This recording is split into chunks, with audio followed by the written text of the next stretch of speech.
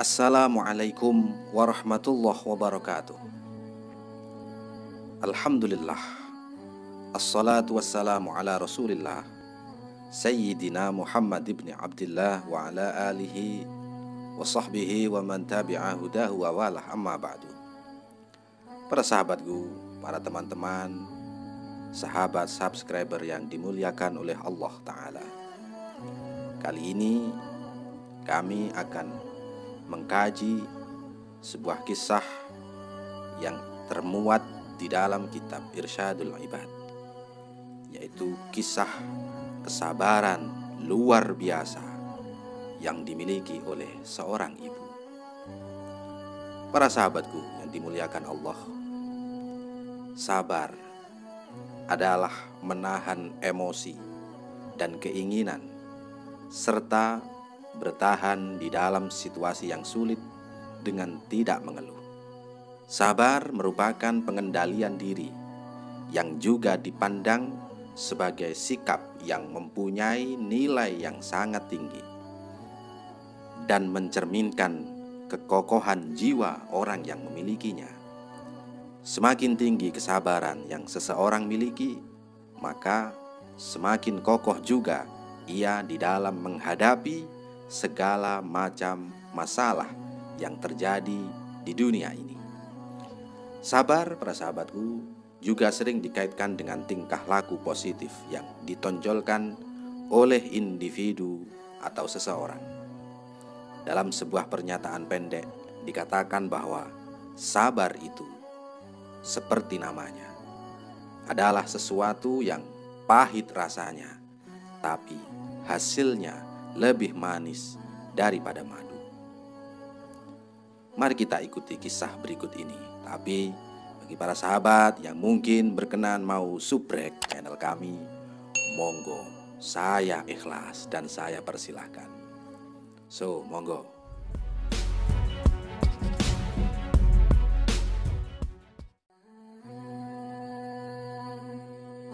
Diceritakan dari Imam Al-Yafi'i dari Syekh Abil Hasan As-Siraj.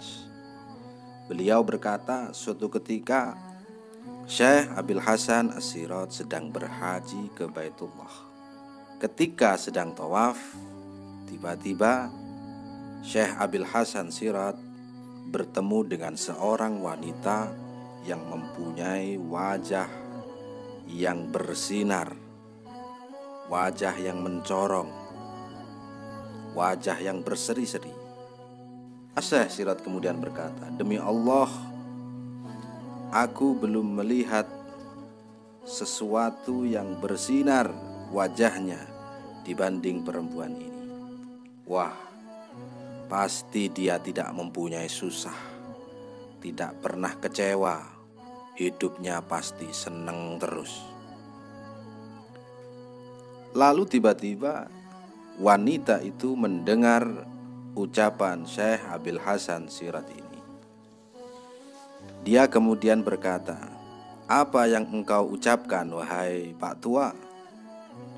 Demi Allah, aku adalah orang yang paling susah, paling menderita di dunia ini, dan orang yang paling tersakiti hatinya, yang mungkin tidak ada orang lain yang penderitaannya sama dengan aku.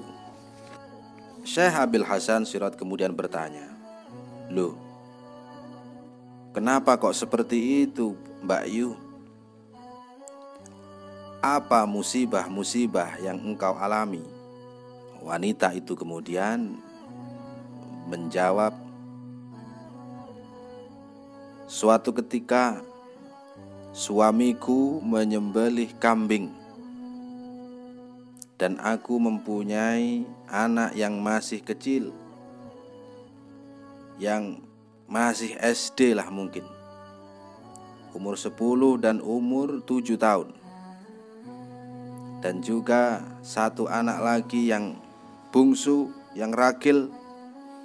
Masih dalam pangkuanku yang tiap hari minum ASI. Di suatu hari aku berdiri menyiapkan memasak beberapa makanan. Kemudian putraku yang paling besar yang umur 10 tahun berkata kepada adiknya yang masih kecil umur 7 tahun. Wahai adikku, apakah kamu ingin tahu bagaimana ayahku menyembelih kambing? Sang adik menjawab, "Iya, Kak. Bagaimana caranya ayah membeli kambing?" Kemudian, masya Allah, sang kakak mempraktekkan penyembelian kambing ayahnya yang pernah dilihatnya. Adiknya digeletakkan di tanah. Sang kakak mengambil pisau, lalu benar-benar saja sang kakak menyembelih adiknya seperti yang ia lihat ayahnya saat menyembelih kambing. Dan ketika tahu adiknya itu meninggal, sang kakak kemudian takut Lalu dia pergi entah ke mana dan mungkin masuk ke dalam hutan. Di dalam hutan atau mungkin masuk di dalam gunung, dia kemudian dimakan oleh hewan-hewan gunung, dimakan oleh macan.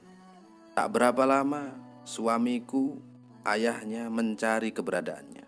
Setelah beberapa hari, malah dia tersesat ketika berada di dalam gunung dan kemudian mati kelaparan.